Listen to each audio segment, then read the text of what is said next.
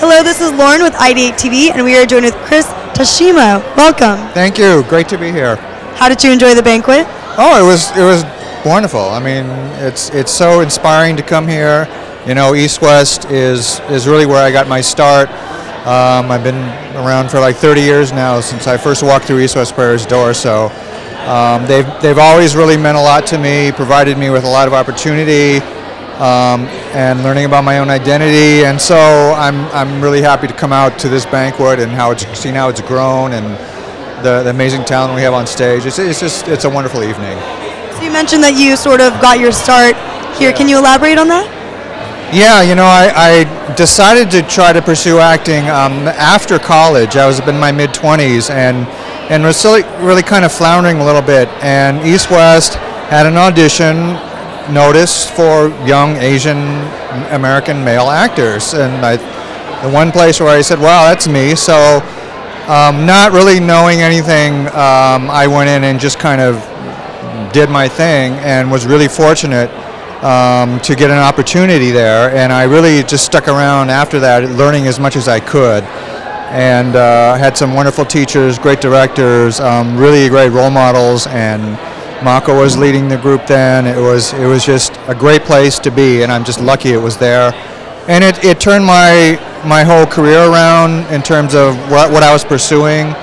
Um, turned me on to interest in telling our stories, uh, learning the craft of acting. Um, it, it it's just been a wonderful home.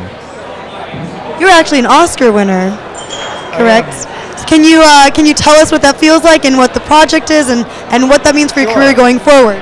Sure, you know, I don't know if I can tell you what it feels like because it's that sort of indescribable. But you know, again, the opportunity came because of East West Players. That's where I met the playwright Tim Toyama, who wrote Visas and Virtue. That's where I met the director of the play version of that, Tom Donaldson. And when we uh, decided to make that into a film, I drew again from East West uh, for a lot of my uh, crew and um, a lot of the support I got. Um, and you know it was just it was just one of those projects that was meant to be because it was a, an amazing story that sort of fell in my lap and and I, I cannot take too much credit other than just pushing it forward to the next stage and, and being fortunate to have a lot of wonderful people around me so uh, it went up you know it went on to win the live action short film Oscar um, that's now 16 years ago that was 1998 but you know it's still something that I get asked about um, of course, it never gets old for me, so I'm, I'm, I'm thrilled every time someone mentions it. So um, it's been it's been a wonderful ride. You know, it's still the film is still showing, um, and that's that's the the main thing because we made the film to honor uh, humanitarian Sugihara who who issued the, the the transit visas in World War II, and whose story really is still not widely known. So um, it's all it's all been an honor for me. Well, any words of inspiration for somebody who is looking to enter this industry as an Asian American?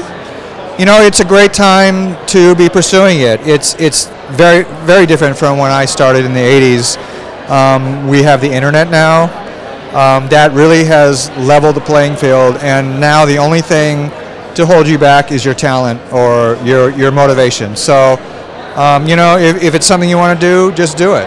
There's nothing to stop you now. There's such a larger base of artists to support you um, many opportunities to, to showcase yourself. Um, there's so many film festivals. There's so many Asian American theater companies, um, and and other theaters are looking for our stories. So. Um, uh, if you want to do it, great. Um, you know, it's like uh, it's great for all of us. Maybe there's a part for an older guy like me, so you know, I'm I'm only going to benefit. So uh, just go out and do it. Um, you know, if you're an actor or if you're a writer, that you, you know you got to do it, so you're going to anyway. So, you know, I'll, I'll just sit here and cheer from you, you know, for doing it. Well, thank you, Chris. Thank you for that uh, piece of advice, and thank you for joining us on the show. Thanks for having me. It's it's uh, again, you know, just a great place to be, an inspirational place. So come back next year.